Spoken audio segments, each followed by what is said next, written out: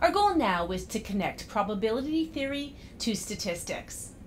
That is, we want to use the ideas from probability that we've studied in order to make conclusions from data. And to do this, we'll need the concept of a sampling distribution, which is the topic of this video. The goal of statistics is to make conclusions based on the incomplete or noisy information that we have in our data. The process of doing this is called statistical inference. Here's a model for statistical inference. We have our real world. This is the world we experience and where we make our measurements. And in our real world, we have our observed data. Underlying this is a theoretical world. This world explains how the real world works. It includes scientific and statistical models that describe the probability distributions for our random measurements. Observations of these random measurements are our data. The theoretical world could also be a population, and our data could be measured on a sample from the population. And then the randomness in the data is due to the randomness in the sampling process. Either way, we have parameters in the theoretical world, which are features of the models or features of the population in the theoretical world. We don't know the values of these parameters, but they are fixed. They are a feature of nature or of the population, and they are what they are, even if we don't know them. So they're not random.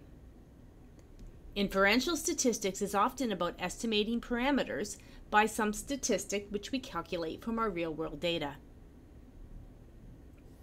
In real life, we only get one sample or set of data from which we calculate our statistic. But there are many values it could be, depending on the random measurements that give us our data. So our statistic is a random quantity. And in order to make inferences, or more general conclusions, based on the single sample or set of data that we get, we need to think about the behavior of all of the possible sample data sets that we could have gotten. We're going to talk now about the mean. It's often a goal to understand the typical or central value of measurements, so the mean is a common parameter that we'd like to make inferences about. We'll call our theoretical world mean the Greek letter mu, and we'll estimate it by the sample mean x bar. Now here's a possible real-world situation. We observe nine data values, random measurements from a sample of size 9. And for these nine data values, we'll calculate the average, or sample mean, and this purple vertical bar is at the average. This average is a statistic calculated from our data. It's an example of an x-bar, which we could use to estimate mu. Of course, if we had taken another random sample of data, we'd get a different value for x-bar. And if we had taken yet another sample of data, we'd get yet another value for the average. And this purple probability distribution shows the behavior, in terms of their probability, of all of the different sample means that it's possible to get. In previous videos, we investigated how this probability distribution for the sample means compares to the probability distribution of the individual observations. Knowing the probability distribution of the sample means is an important component of the process of statistical inference. The probability distribution of the sample means is called a sampling distribution. In general, a sampling distribution is the probability distribution of the possible values of an estimator of a parameter. In the real world, in real life, we only observe one sample and get one sample mean. But if we make some assumptions about how the individual observations behave, that is, we make some assumptions about the probability distribution of the individual observations, then that tells us what the sampling distribution of the mean is. Suppose we assume that the individual observations have a normal distribution with a mean of mu and a standard deviation of sigma. Then the sampling distribution of the mean has a normal distribution, also with a mean of mu and a standard deviation of sigma divided by the square root of n, where n is the size of our samples. It describes how the observed value of the sample mean varies from sample to sample of data. That variability is called sampling variability. In the case of the sampling distribution of the mean, the sampling variability is given by the standard deviation of the sampling distribution, which is sigma divided by the square root of n. We can't be sure that individual observations behave like observations from a normal distribution. They could come from a uniform distribution or a skewed distribution or anything else. But as long as our sample size is large enough, we have the central limit theorem working for us.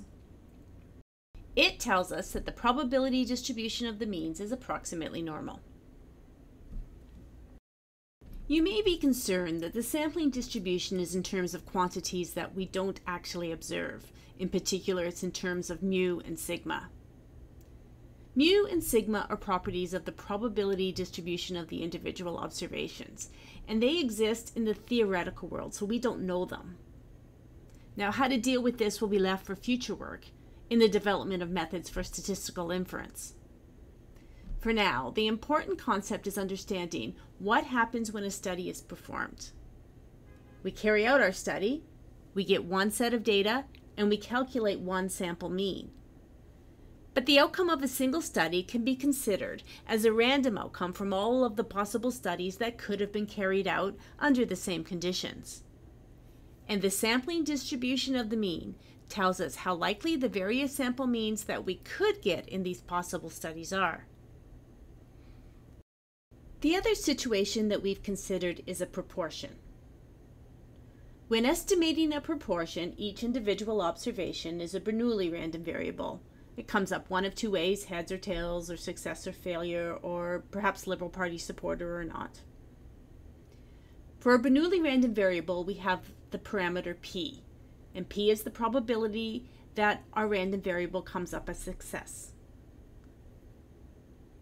We estimate p with p hat, the proportion of times we get a success in our sample of size n. And again, even though in practice we only get one sample, so we only ever observe one value of p hat, we know that the value of p hat would vary from sample to sample, and for large n, we know that its distribution is approximately normal, and this normal distribution has mean p, and standard deviation equal to the square root of p times 1 minus p over n. And this is the sampling distribution of a sample proportion, the sampling distribution of p hat. Like we saw for the mean, the sampling distribution for p hat is in terms of something we don't observe. In this case, that's the parameter p. P exists in the theoretical world and it describes the behavior of our individual observations. But later, when we develop these ideas into statistical methods, one thing we'll discuss is how to deal with the fact that we don't know P. In fact, it's what we're trying to estimate. The type of reasoning that we've seen in this video allows us to develop statistical methods for many parameters.